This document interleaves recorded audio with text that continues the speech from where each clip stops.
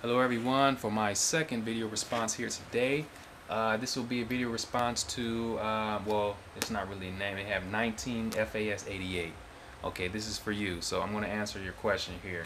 Uh, first of all, I'm going to read, I'm going to go ahead and read your question and then I'll answer it. Okay? So teach yourself Thai. Hi, I'm currently learning Japanese. My level is high beginner to low, low intermediate. I want to learn Thai. I want I want to start learning Thai. I'm basically learning Japanese through music, movies, books, namely Harry Potter. however, I however I've heard good things about the Teach Yourself series. I would like to ask you two questions. Firstly, do you think I can han handle learning Thai given my level of Japanese? Uh, secondly, how do you feel about the Teach Yourself series for Thai, especially for someone who is a beginner? Thanks, Blake. Okay, uh, Blake. Okay, yeah, I see your name, Blake. All right, Blake. Uh, just to answer, first of all, let me tell you that uh, teach yourself. I love teach yourself. It doesn't matter. Beginner. This is for beginners actually.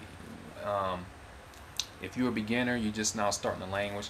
I believe if you, you know, approach the language in in the right way, and you get this book here, a teach yourself book, and work your way through the whole book, I believe you can reach an intermediate level. But of course, you have to make sure you study right. That's always the always the case.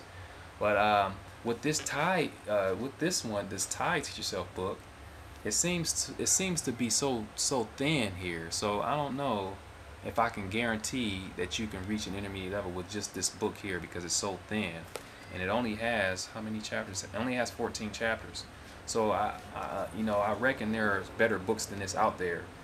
And I, you know, I haven't really um, looked into any other Thai course books, but um, I will. But I, I will definitely say overall, Teach Yourself is a really good series. I like how they have things set up. So uh, it's definitely, I would definitely recommend you buy this this uh, this Teach Yourself Thai. So um, yeah, um, and it doesn't really matter what level you said. You said um, even though you're on a low intermediate, what was it? The, you're on a your Japanese is like low intermediate, high beginner, low intermediate.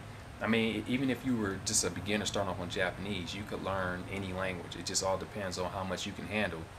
But for for um, if you've never studied languages before, like intensively, then probably you may want to you want to start with just one and play with that for a while, and then uh, if you feel confident enough, then go ahead and, and start learning um, another language.